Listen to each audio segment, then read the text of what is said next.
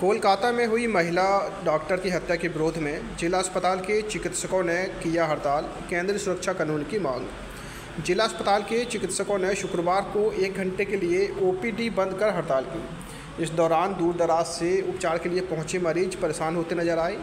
मुख्य गेट के सामने चिकित्सकों ने धरना दिया। हड़ताल की वजह कोलकाता में महिला डॉक्टर की रेप और हत्या का विरोध करते हुए आरोपियों की गिरफ्तारी की मांग रही।